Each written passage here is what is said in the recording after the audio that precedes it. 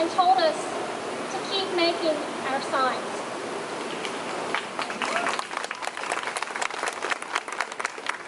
I take this as a sign that we're in the right place and that our presence is working. In February of this year, we held our first vigil for chickens at a House of Raeford facility in Duplin County. This facility is out in the middle of nowhere, honestly, on a lush country road that would otherwise be beautiful if not for the giant chicken slaughterhouse. When you go here, it's difficult. There's trucks stacked with cages crammed with chickens.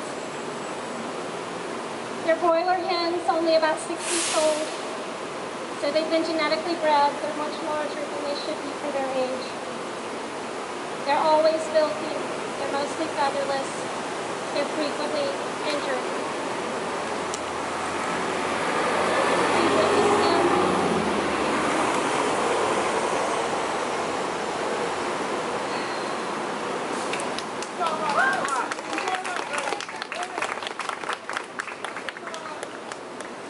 We hold vigils for these beautiful tortured beings because we're trying to offer them a bit of gentleness before they go.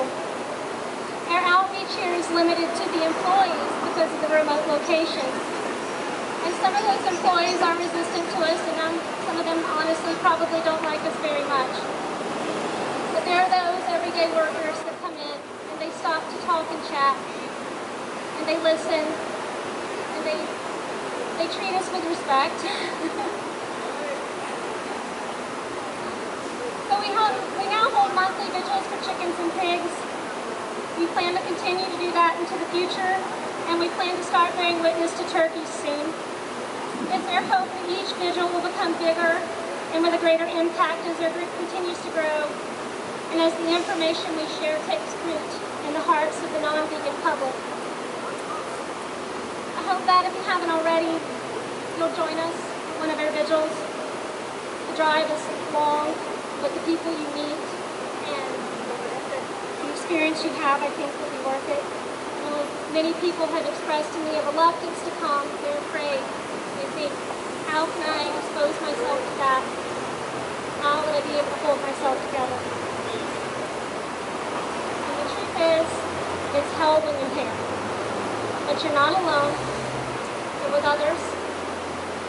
And when you consider the suffering that the millions of animals are going through in this state, it is such a small sacrifice to take a moment of your time to offer them a little bit of comfort and a little bit of water.